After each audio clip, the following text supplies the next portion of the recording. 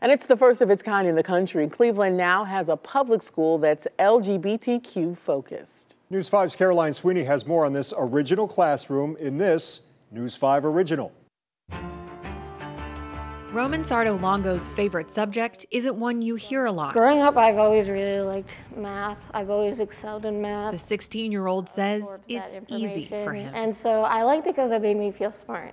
And I feel like if everyone else felt smart in math, they would like it too. The high school junior takes his math course with a handful of other kids in a school for LGBTQ students. It blows my mind. I, I didn't honestly think it was going to be this easy. That easy thing? Starting the new school in partnership with the LGBT Community Center, the first of its kind in the country. They didn't feel like their story was being heard. And so I felt that it was really important to open up a school that just allow our students to be normal. Battle and is a queer woman leading the charge at CMSD for more inclusive learning opportunities for a program called the School of One, school programs that focus on individual students' needs with personalized lessons online. I can be seen, my voice is being heard, and I'm not I'm not uncomfortable in who I am. And it's really easy to just get caught up in all the mean things people say to you or the weird stares they give you at school.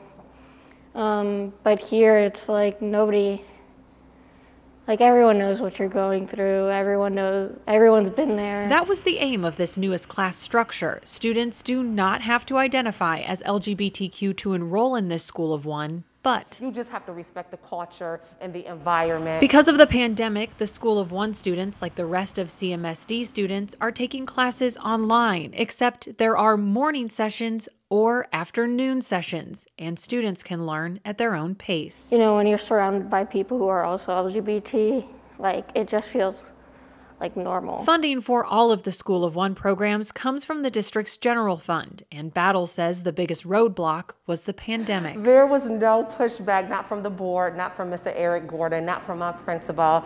I literally walked up to my principal one day and said, I would like to open up a School of One at the LGBT Center. And he was like, okay. Soon, the school will start an LGBTQ history course for students. I'm really excited because I feel like a lot of um, even LGBT like youth don't really know our history that well. I mean, I won't claim that I know it super well. Leaders at the School of One hope that once the pandemic is over or there's hybrid learning offered at CMSD, they'll be able to move some students here to the LGBT Community Center. But it's very comforting that like Cleveland can be a place where uh, we can feel safe and um, it feels really nice. In Cleveland, Caroline Sweeney, News 5.